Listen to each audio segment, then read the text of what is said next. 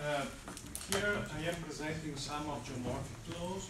I am not, uh, in ten minutes, I am not, uh, I have not the, the, the, the, goal to say all about, about it, but at least to understand some of the things you can obtain with, uh, uh, with the tools we have. This is the last part of the uh, little history about uh, Luis Borges. Uh, now we, we know how to extract a river network. And uh, in general, a river network is uh, like this one. And uh, uh, we are mostly interested in, in, this, in this class to the part that is on the mountain. and so, sorry, unfortunately this is in Italian, but the things uh, over there is a runoff generating area. Uh, here you have the regional uh, water table. Uh, here you have the transport zone, and here you have the delivery zone. Uh, after Schumm, you more or less distinguish these three parts of the, of the, of the morphology of a river networks. Each of them have different geomorphic characteristics, even also cl- climatic characteristics. Usually the, the part on the mountain is where the runoff is generated, where we have the more rainfall due to topographic effects, uh, usually. Uh, here inside you have the plan, uh, in the plan, uh, you, you don't have very much rain sometimes.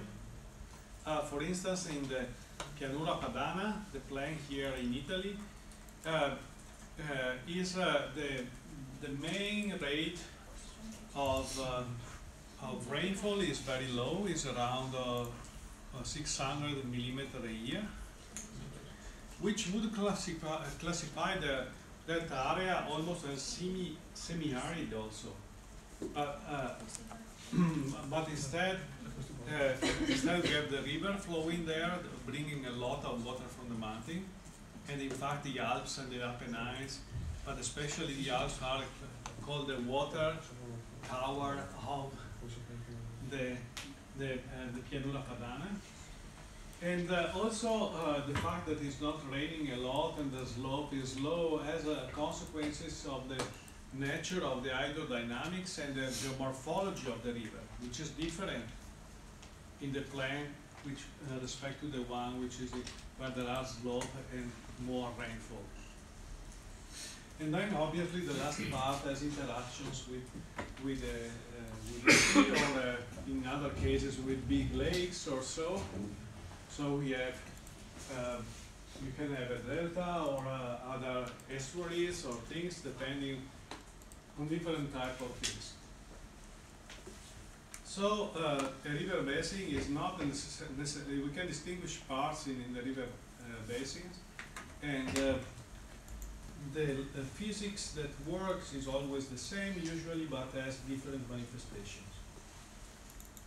Since the beginning, meaning in, in the last century or even in the 18th, uh, 19th century, uh, um, it appears that there were some uh, laws regarding uh, uh, uh, regarding the main geomorphic quantities. Some of, of them now we are really able to to calculate, but that at that time, at time of that paper, were just measured on the maps. A is the contributing area, and uh, Q is the discharge, V is the velo- velocity, or in other cases, the mean velocity, uh, uh, in uh, especially mean velocity in, in the river. Uh, W is the bed width under natural condition. D is the uh, the bed section of the river depth. Um, also in bankfull conditions. And uh, what happens is that all these quantities, discharge, flood velocity, bandwidth, and bankfull discharge are related to the contributing area. And uh, uh, Maddock and Leopold uh, uh, showed in this famous paper, which is a nice paper to read today. And uh, uh, they say essentially that uh, each one of the quantity is a is a power law in the contributing areas, where the exponent c, m, and b and f therefore stays in the relation because uh, we can see that the discharge is equal to the velocity times the width times the depth. Obviously, this is a, a simplification. The coefficient here in front are missing, but this means that m plus b plus f should be equal to c. It turns out that they measured a lot of rivers, and it turns out that, uh, oh, sorry for the table is in Italian, the names, but uh, I think it's understandable for, for everybody. We have b is the width, f is the depth, and m is the velocity. And what you uh, see here is that the dependence of uh, uh, on velocity of the bankfull discharge and the dependence of area of the of the uh, of the bankfull ve- velocity is very small. So if I ask you during a flood wave, the uh, the velocity of the flood wave is higher on the mountain or is it higher in the plain? I believe that most of you, even those who study hydraulics, would say is higher in the mountains. Instead, is higher in the plain. Because uh, we have three elements that contributes to the velocity, which is roughness, the hydraulic radius, and the slope. The slope is only one of the effect, and the, the roughness of a river on, on the plain is usually much, much less than the roughness of the river on the slope. So roughness and the, the, radius are the main factor in forming the velocity. So we could say that velocity is closely constant along the river. And uh, at the same time, we also observe here another particular thing, which is the width of a river stream uh, seems to be uh, uh, related to the square root of the areas. And this is the statistic by Leopold and Maddock, but the others then took the statistic of many, many other rivers in the world, and this fit also for uh, for most of the river. So this uh, uh, is kind of a thing that should be explained. We thought that we have uh, actually explained in some of our paper why it is like that but and some other people too. but let's say still, uh, uh, this is what what is the more the the large the la, uh, the, mm, the the width of a river is uh, uh, related to the area is the most closely thing that there is in hydrology to a law. Oh. The other thing is all very empirical but this is is closely to and uh, here in actually in uh, in my experience I did uh, some simulation and things on a river networks years ago and you see this is a log log plot and you see in this river here there is a straight line linear relationship. But actually it is not this type of of laws that uh, I wanted to talk to you, but uh, specifically for, for this thing we are doing here, uh, we will um, we will uh, we are extracting the river network. So uh, and there are some extractions that gave you some some strange things like uh, uh, Strahler number or Hack's number. So.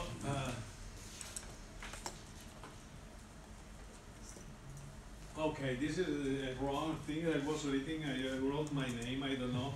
I was distracted. But since I did this slide 10 minutes below. Um, uh, the important thing is that I just put uh, cut and paste my name instead of another thing. that happens. Uh, it's not very visible with this yellow, uh, but uh, what we see with this is a river. Here we, we recognize the, the red part, the blue, the blue part, and uh, the violet part that uh, at least are uh, recognizable. The yellow part are the initial streams here, meaning we identify the tree, uh, the river like a tree. We have uh, the leaves of the tree are called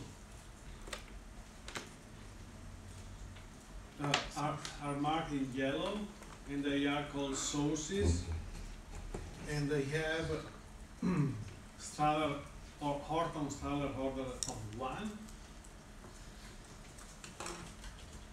When two sources meet, they form a, stream of order two. When two stream of order two meets, they form a, a, a stream of order three.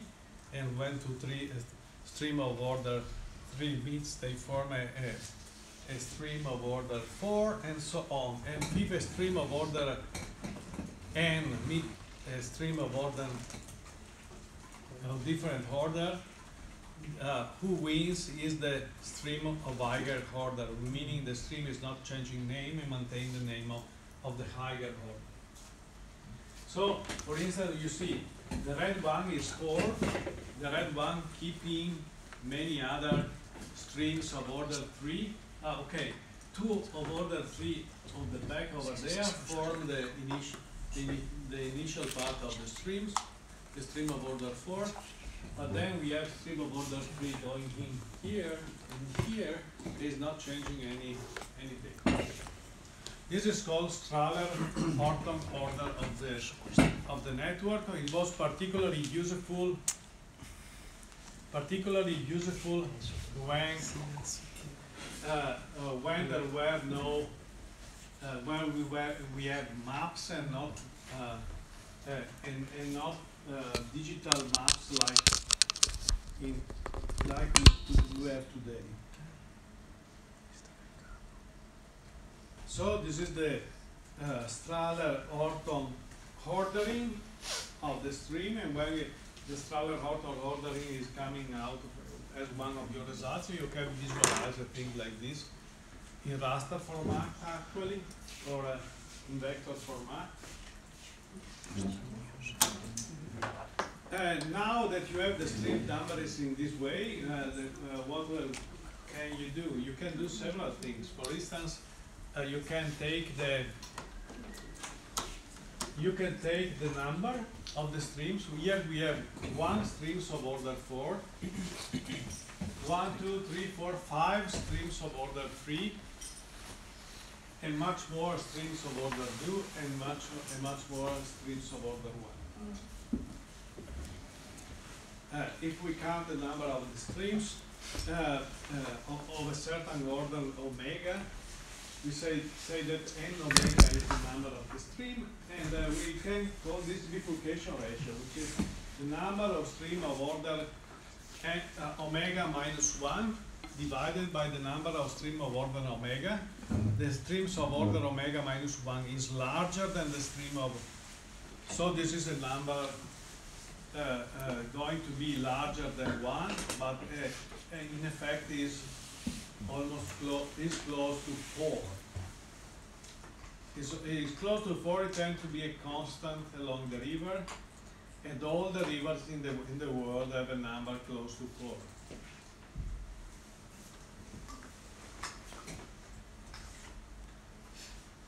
And this is three, there is quite an historic an historic picture by David Tarboton, and uh, you see here the, the bifurcation ratio is four.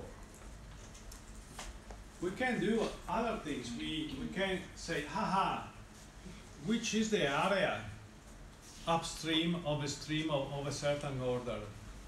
Okay, uh, there of order four, we have just one stream, so it's the whole area. But of order three, we have three or four, uh, we say five streams of order three. And uh, so we take the area, which, uh, each one, each one has a different areas. We take the average of the areas. And uh, we build the, uh, uh, the area ratio, which is the area of order omega divided by the area of order omega minus one. Ah, this is a number greater than one, then we know, and uh, in the, usually it's a little larger than RB when we do uh, experiment, uh, we, measure on, on, on the network. And uh, also this number is close to four.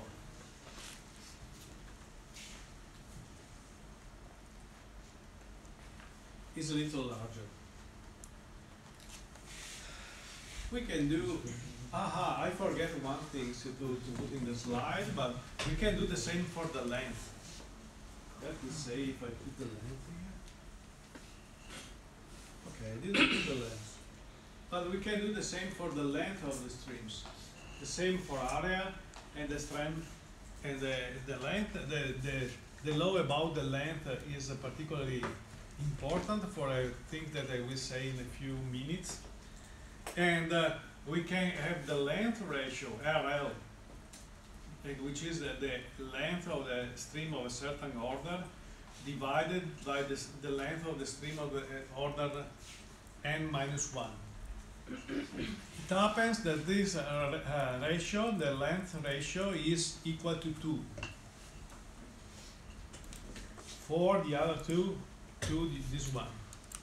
We can also have the slope, doing the slope, doing the slope is little bit, uh, uh, estimating, so one challenge for you, now you have the Strahler ordering of the river, you count the length of each stream of a certain order, you couple the statistics.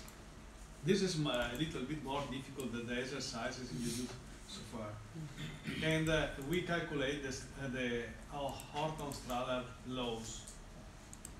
Uh, what I am not still telling you um,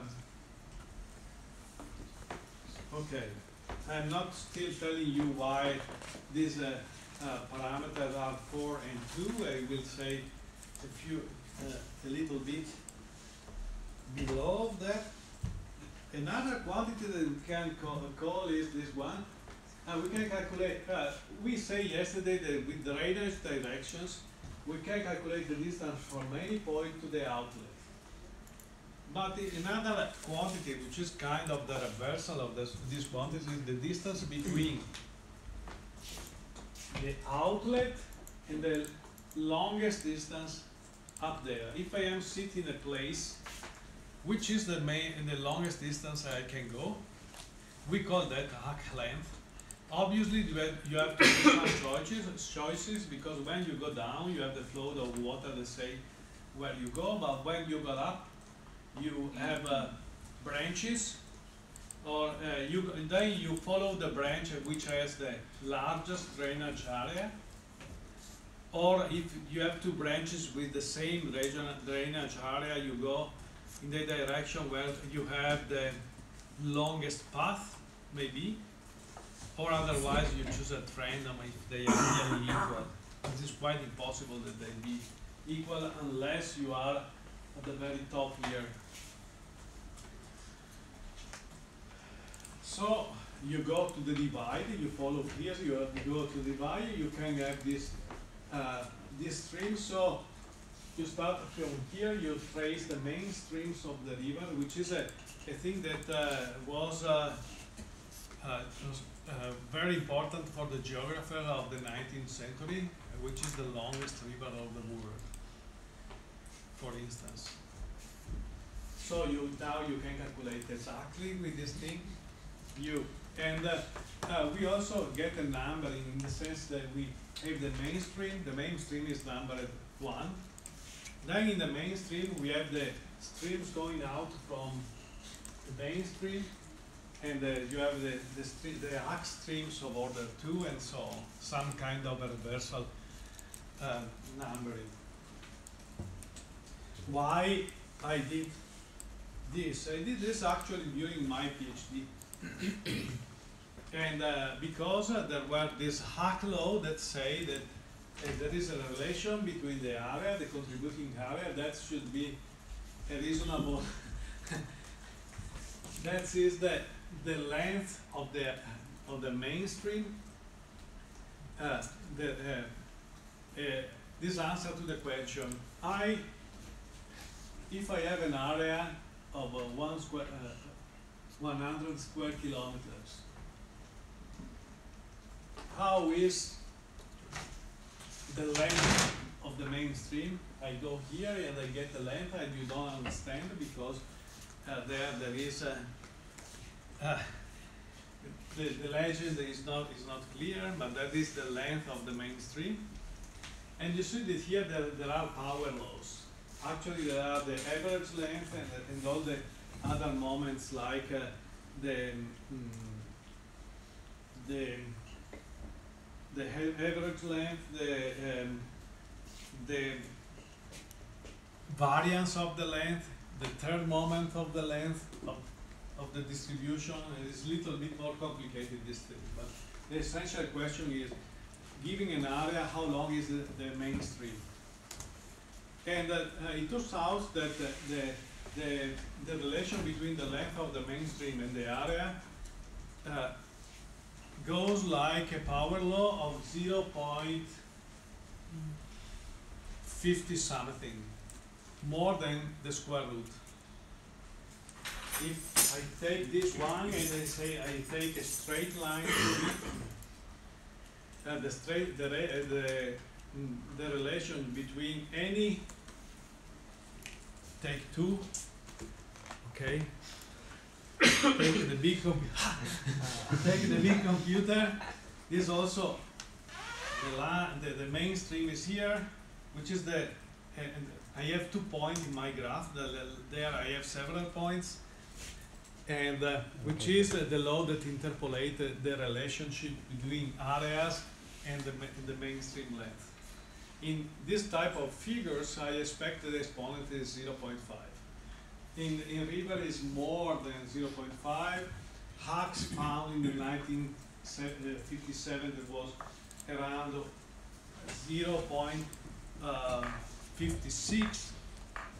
And also these laws seems to be quite universal, quite universal right. So we have this thing which, which is a fact, uh, which is a law. That is this book that explains all these facts. Uh, they also, and also my PhD thesis, which is part in part of the the topic of these books. Actually, I did this imi- image here,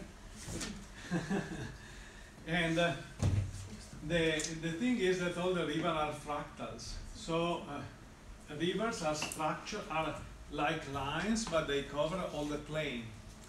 And it turns out, for instance, that uh, the uh, the logarithm of RB, the bifurcation ratio, be divided by the logarithm of the length ratio, which is logarithm of 4 divided logarithm by of 2, is equal to the fractal dimension of the river, which is 2 in this case.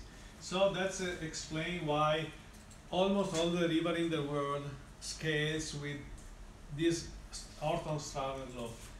The good thing of this book is that uh, the authors, and for the part that regards my thesis, we uh, try to derive the fact that river are fractals from dynamic principles. In the past, these laws were very important because we have no data. We had no data about topography. Now we know the earth topography meter by meter. But at that time, even when I started, not so, I'm not so old. I'm not so old. And uh, but when I started, that there were no maps for certain part of the of the earth.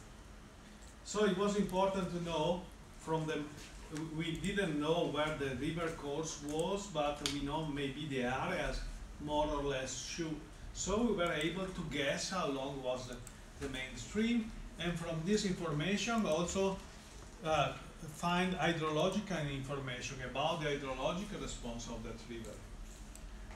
Something very rough, which is now now it's not more uh, uh, uh, as useful as used to be because we have all the info- topographical information that we need, and so in a sense we don't need anymore those laws, uh, even if they lo- uh, those actually um, help us to know uh, something about the dynamics that is going on. So it remains also in the tools. So you calculate the strain order, and this remains also in the way that people do, because if you talk to a, a, a geologist, for instance, you say, oh, let's go to a stream, a, a, a catchment of order zero. You say, what is then this catchment of order zero? Is a headwater catchment, where there is no, no stream. Then there is the stream of order one, the stream of order two, and so uh, this thing entered so much in the language of the people, especially uh, the geomorphologists, that you uh, still today, even even when the, these laws are not so important, they permeate the, the, any uh, any speech about these things. So you have to know. You can calculate also other, other things like drainage density. What's drainage density? Drainage density is the ratio between the length of the, the, the, the, the blue lines that you have on top. Still one thing that you can easily see or detect from maps above the area. Drainage length. Under certain condition, have, which has to do with the, distribution of how the, the geometry of the river is, you can deduce the fact that uh, the inverse of this quantity, the drainage density, is proportional to the length of the hill slope. So if you want to, if the, the, the time that water stays in, in the slope is important for you, you know that uh, is uh, much uh, much larger is the drainage density, much less the water stays in the hill slope because the hill slope is smaller.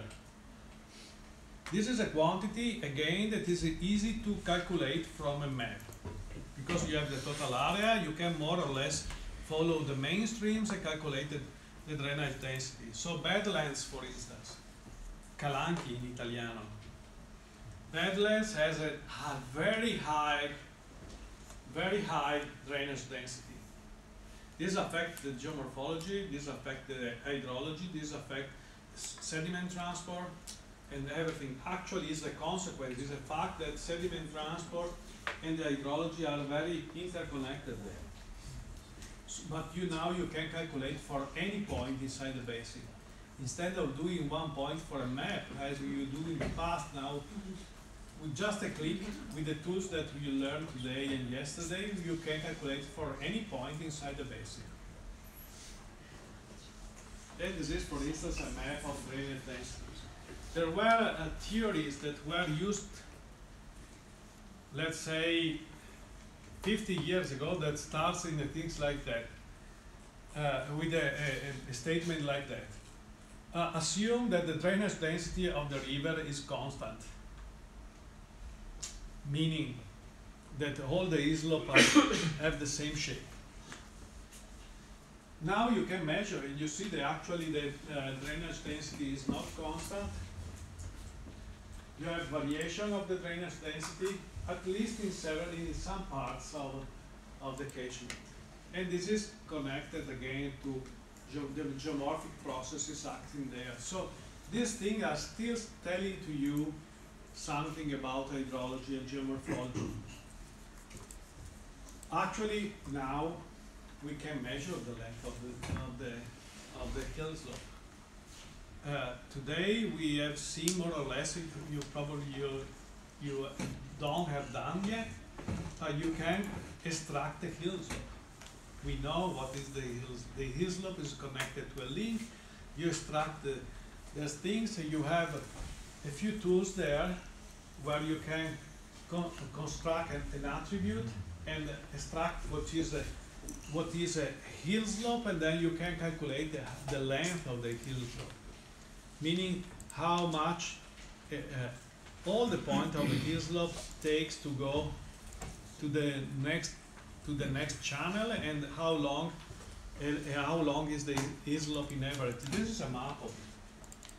Yeah, and this is what it was supposed to be the inverse of drainage density. So in a sense, we don't even know, from this point of view, we don't know, we don't need now to have the drainage density, because if our scope was to estimate the length of the,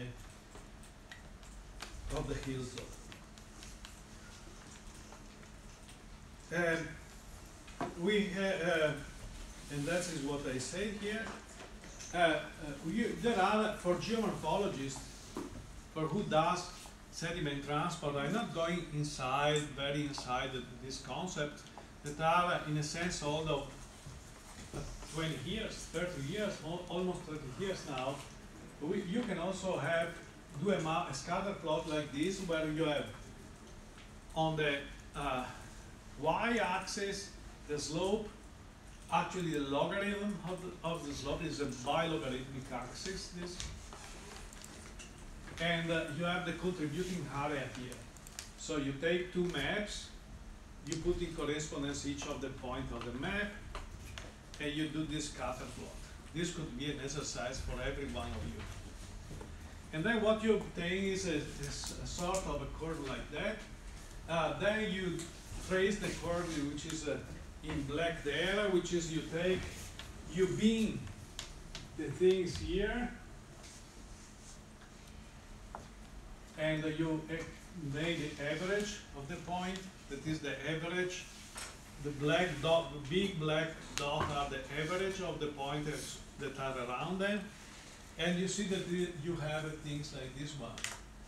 You know, there is a, a line, a straight line, and the straight line uh, in is a power law in this graphic be- because this is a log log plot.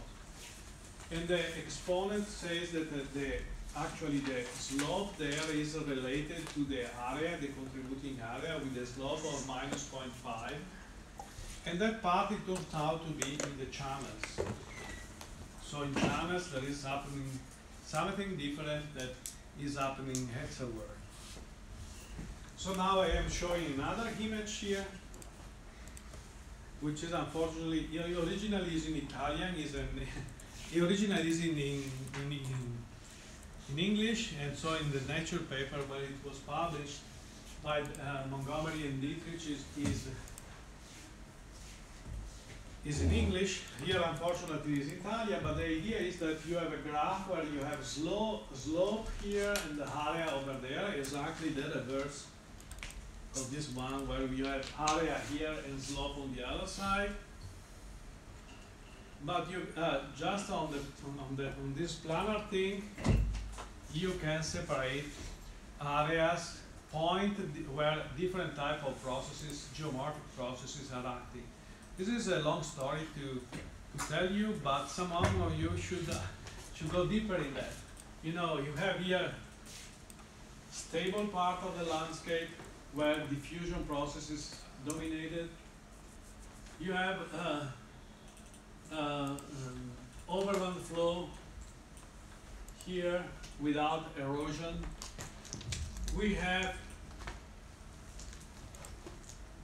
uh, debris flow over there, and we have uh, landsliding over here. All this line that I trace here comes from a, a simplified theory of the processes.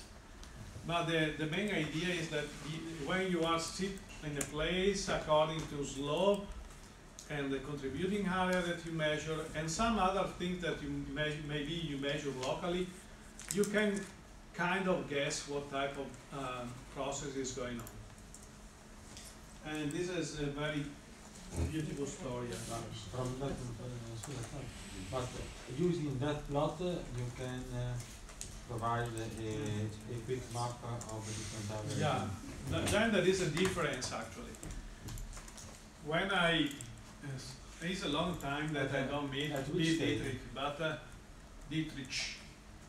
But when I, I I meet him, usually he shows his, he show to me his shows, and now I am not like uh, I, used to be, so my my shoes are not so uh, so Italian style.